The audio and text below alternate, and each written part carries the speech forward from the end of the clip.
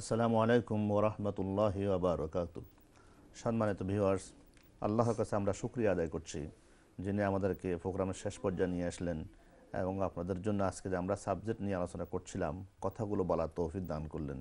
সে রব্বুল আলমের দরবারে আমরা শুক্রিয়া আদায় করছি, আলহামদুলিল্লাহ। আশা করি এই সেগমেন্টে আমরা আপনাদের কাছ থেকে কিছু কল নেওয়ার চেষ্টা করব ইনশাআল্লাহ। আমাদের টেলিফোন নম্বর দেওয়া আছে স্ক্রিনে আপনাদের ইচ্ছা করেন আমাদের সাথে কলে আসতে পারবেন। আশা করি আমাদের আমাদের সাবজেক্ট অনুযায়ী প্রশ্ন আসলে আমাদের জন্য দিতে সুবিধা হবে ইনশাআল্লাহ। আশা করি ব্যাপারটা খেয়াল রাখবেন।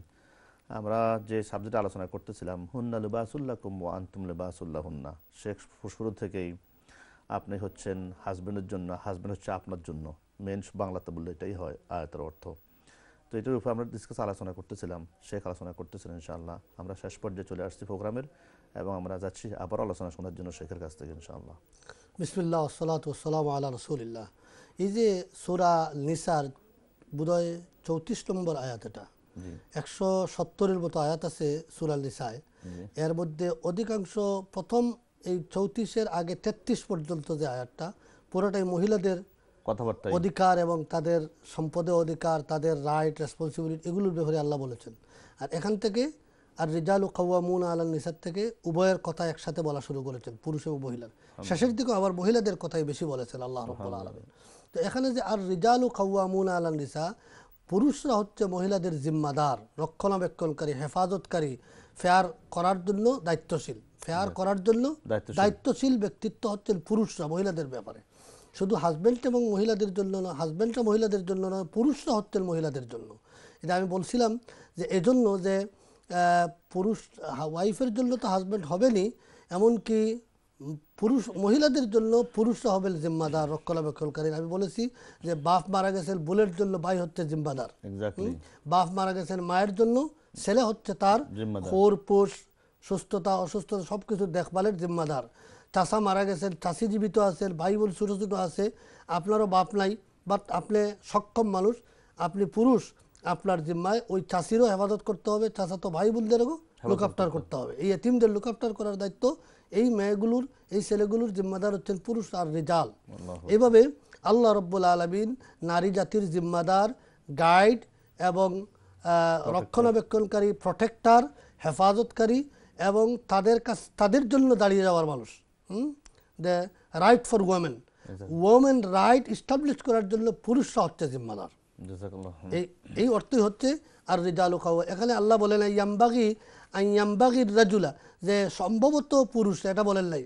লিয়াকুল আর রাজুলু এটা বলেন নাই। হয়তো বা হতে পারে পুরুষরা মহিলাদের জিম্মাদার। আর রিজালু you have to the men have to be guide and responsible for the women জাজাকাল্লাহ শেখ আপনাকে একটু স্টপ করে আমরা যাচ্ছি ছোটোর কলে দেখি। জাজাক আল্লাহ আহ, জি, আসসালামু আলাইকুম রহমতুল্লাহ বরকাত সম্মানিত কলার ওয়ালাইকুম আসসালাম ওয়া রাহমাতুল্লাহি ওয়া বারাকাতুহু জি বোন আমরা শুনতে পাচ্ছি আপনি যে কষ্ট করে প্রশ্নটা বলুন প্লিজ প্রশ্নটা আমার এখন বাবা তার বাচ্চেন তোরে বা আপন হাজবেন্ডে তার ওয়াইফে কোনো মর্যাদা দেয় না।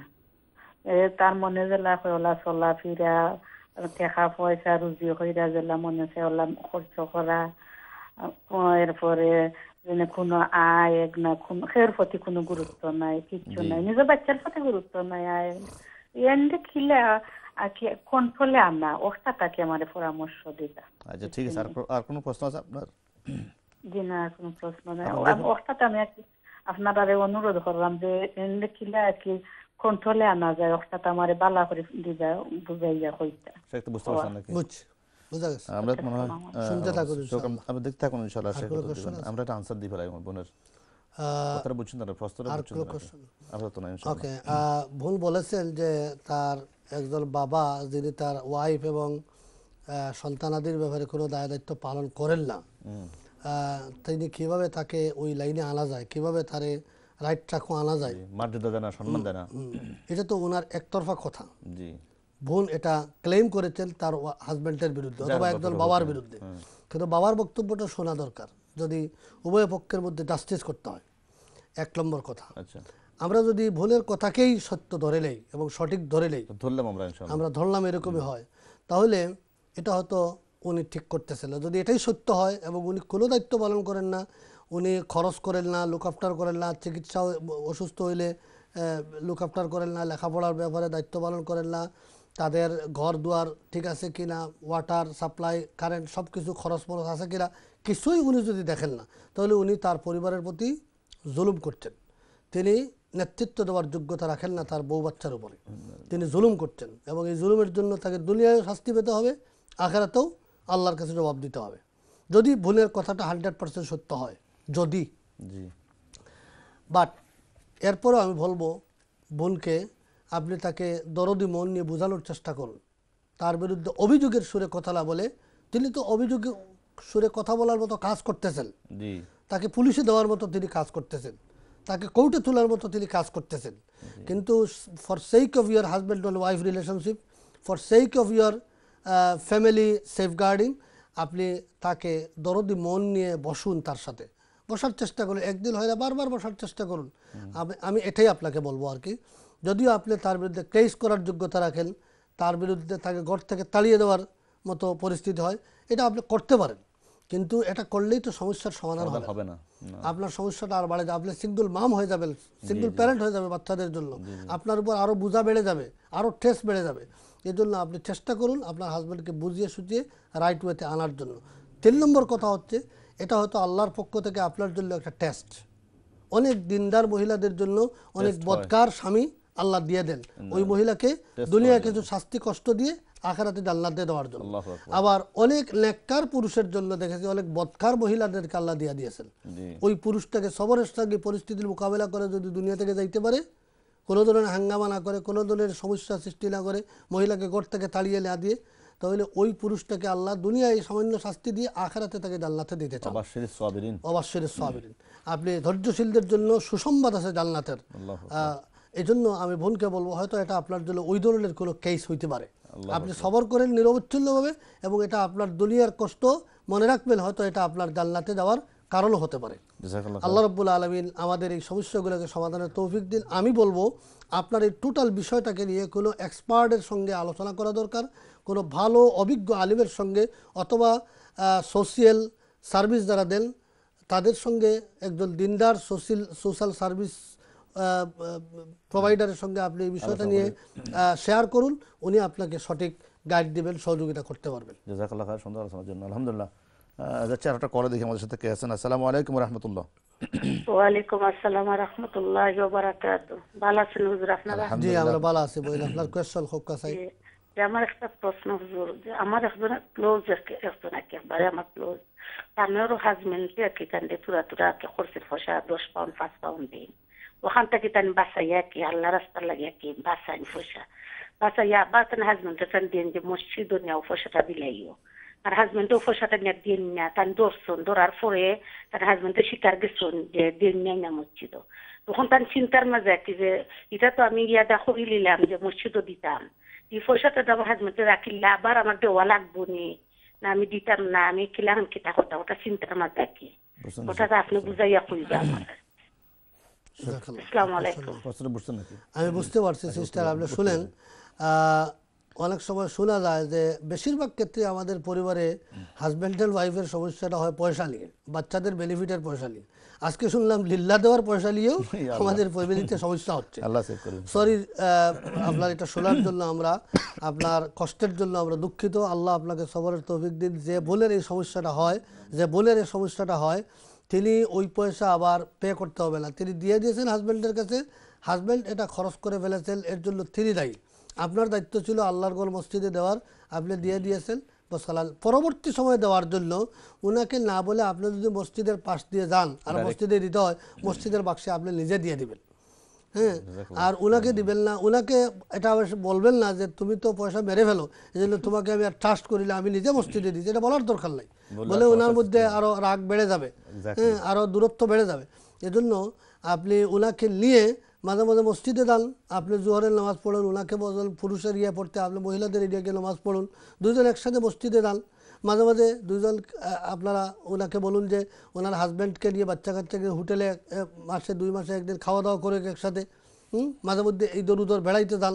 এই সমস্ত করার কারণে আপনাদের মধ্যে ক্লোজনেস সম্পর্কের উন্নতি হবে আরও আন্তরিকতা বাড়বে আরও ট্রাস্ট একে অন্যের প্রতি বাড়বে আশা করি ইনশাআল্লাহ। জাজাকাল্লাহ খার বোন আশা করি আপনি উত্তর পেয়েছেন আলহামদুলিল্লাহ।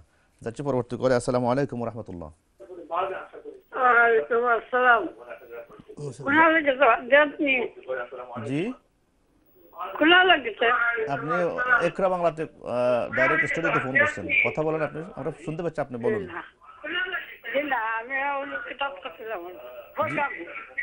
জি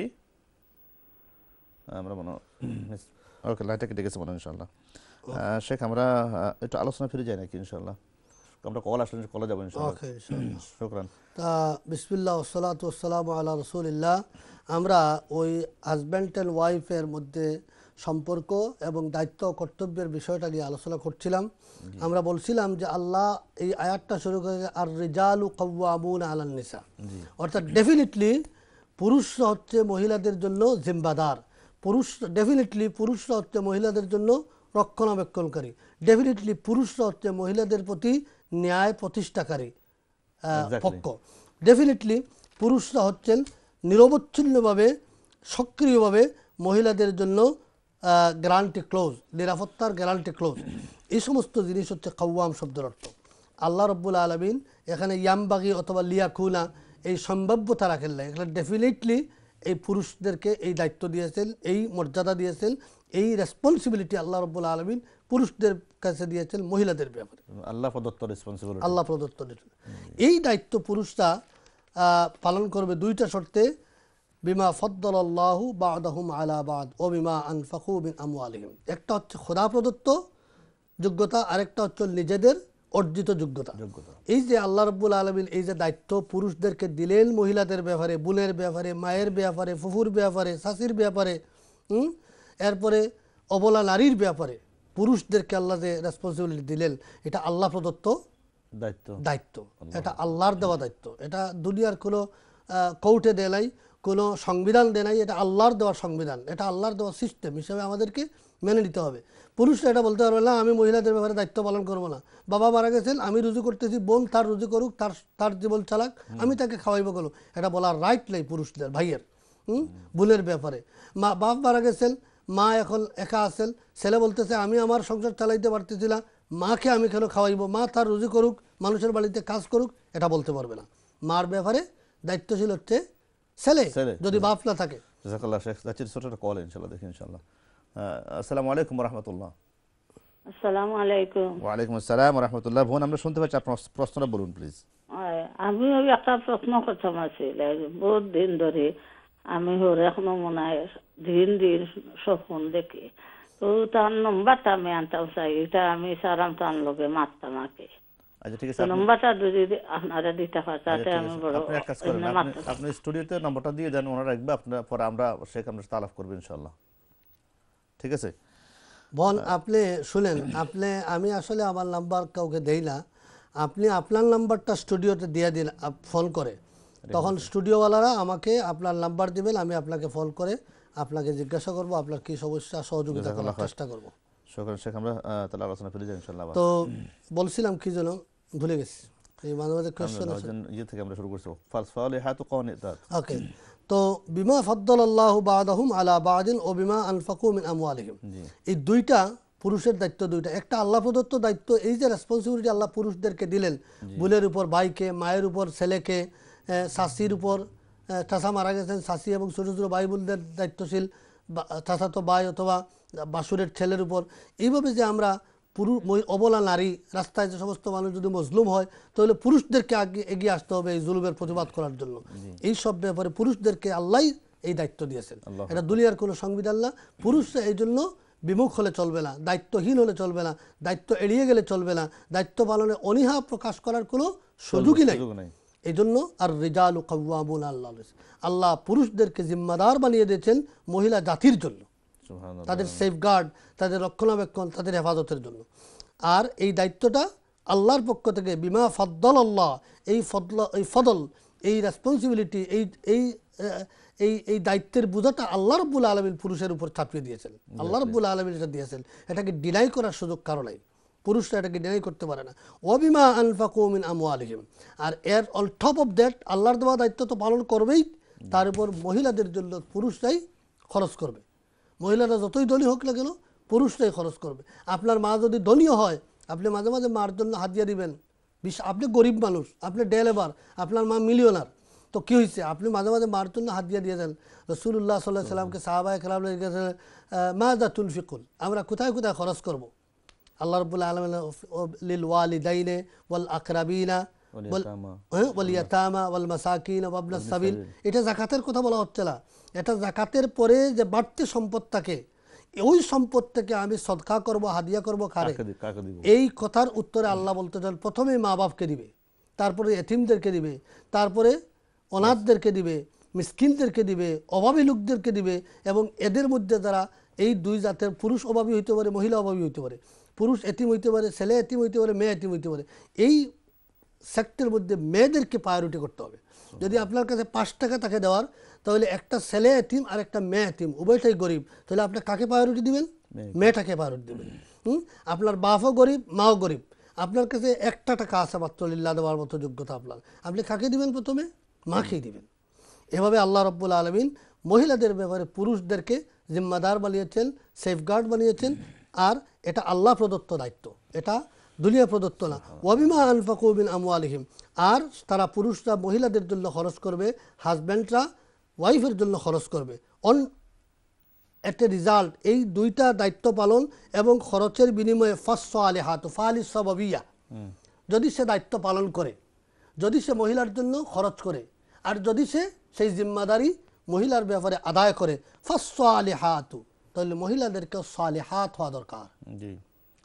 এর এর বিনিময়ে পুরুষের এই অবদানের বিনিময়ে এই দায়িত্ব পালনের বিনিময়ে এই রেসপন্সিবিলিটি আদায়ের বিনিময়ে এই খরচের বিনিময়ে আপনি মহিলাকেও কি হওয়া দরকার?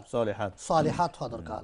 আপনাকে ফাসাদাত হলে হবে না অ্যাগ্রেসিভ হলে চলবে না আপনাকে ঝগড়াটে হলে চলবে না আপনাকে মারমুখী হলে চলবে না আপনাকে ড্যাম কেয়ার হলে চলবে না ভোলেরা আপনাকেও এমন হাজব্যান্ডের জন্য কি হতে হবে? সালেহাত। আর সালেহাত হওয়ার জন্য কি যোগ্যতা লাগবে? দুইটা যোগ্যতা কানিতাতুন ও হাফিজাতুল বিবা হাফিজ আল্লাহ হাফিজ এই দুইটা যোগ্যতা অর্জন করলে আপনি সালেহাত হতে পারেন কার হতে পারেন ভদ্র মহিলা হতে পারেন হ্যাঁ মাননীয় মহিলা হইতে পারেন। আপনাকে মানা যেতে পারে আপনাকে সম্মানের যোগ্যতা আপনি অর্জন করবেন আপনি সালেহ হতে হবে। সাল- সালাহ মানে সালেহ মানে ফসাদের খেলাফ হচ্ছে সালেহাত। হ্যাঁ ফসাদ মানে যেটা নষ্ট হয়ে গেছে যেটা বাসি হয়ে গেছে যেটা ক্ষতিকর হয়ে গেছে। এটা হচ্ছে ফসাদ আর যেটা ক্ষতিকর না, যেটা বাসি না, যেটা চরিত্রহীন না, যেটা মন্দ না, যেটা রাগাঠা না, গুসাওয়ালা না হ্যাঁ? পলাইট, জেন্টল এবং ভদ্র এমন মহিলাকে সালেহাত বলা হয়। সুতরাং কানিতাত বলা হয় আল্লাহতে নিবেদিত। আল্লাহতে নিবেদিত যিনি কানিতাত। যে মহিলা আল্লাহতে নিবেদিত, সে মহিলা হাজব্যান্ডের সঙ্গে খারাপ ব্যবহার করতে পারে না। অবশ্যই। হুম?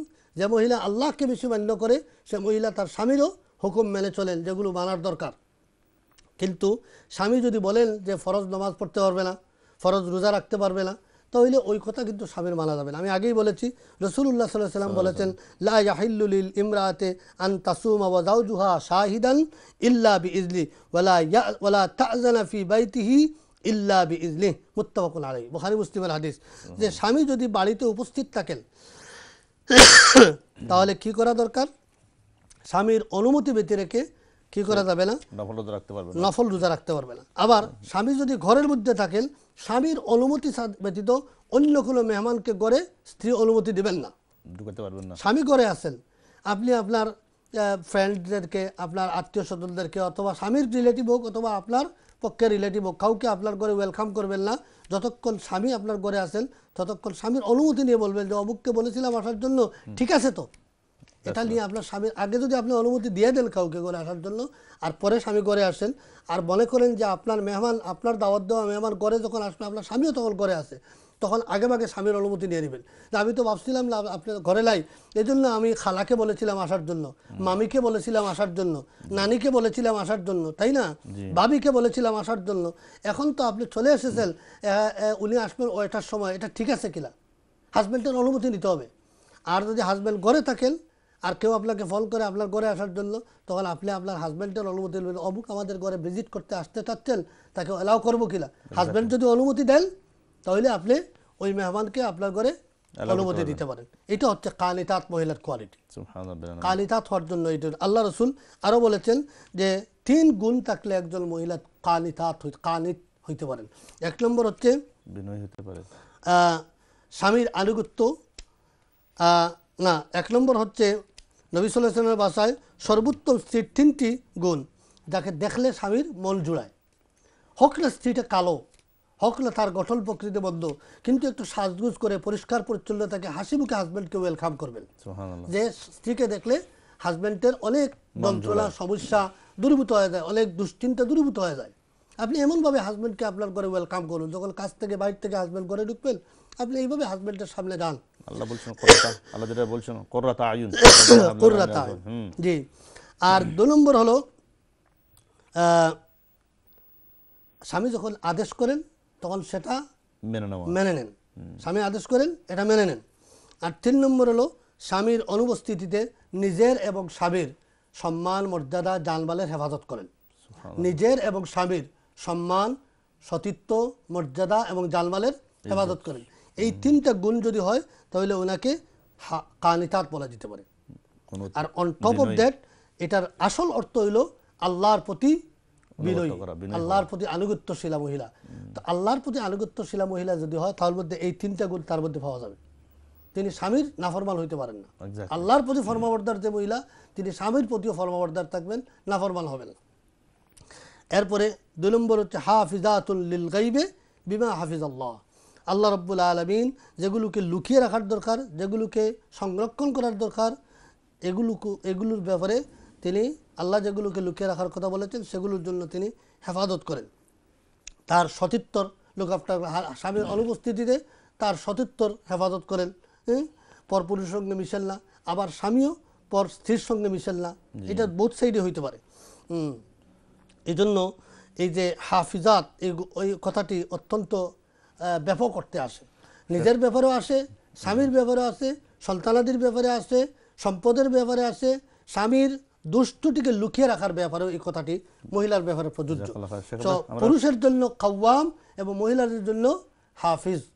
এই দুই গুণ দুইজনের জন্য এক্সট্রিম পজিশন এগুলোকে মানতে হবে শেখ আমরা শেষ পর্যন্ত চলে আসছি। আমরা ওভারঅল আজকের ইয়ের উপরে আমাদের আলোচনার উপরে শেষ লাস্ট আমরা আমাদের বিরোধীদেরকে কি বলতে পারি লাস্ট আজকের পয়েন্ট আমরা এটা বলব যে আমাদের পরিবারকে যদি আমরা লুক আফটার না করি তাহলে আমাদের যাবতীয় সমস্যার মূল কেন্দ্রবিন্দু হলো পরিবার।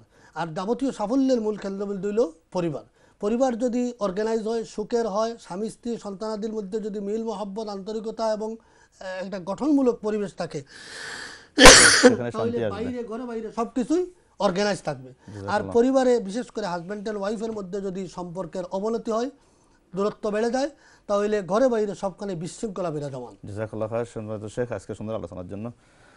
ডিয়ার ভিউয়ার্স আলহামদুলিল্লাহ আল্লাহ তালার দরবারে আমরা শুক্রিয়া আদায় করছি। বলছি কালামাত শুক্র আবার বলছি আলহামদুলিল্লাহ, উনি আজকে আমাদেরকে যে তৌফিক দান করলেন, আমরা আলহামদুলিল্লাহ আজকের আমাদের নিয়মিত অনুষ্ঠান এনলাইটেন জার্নি আমরা শেষ পর্যায়ে চলে এসেছি।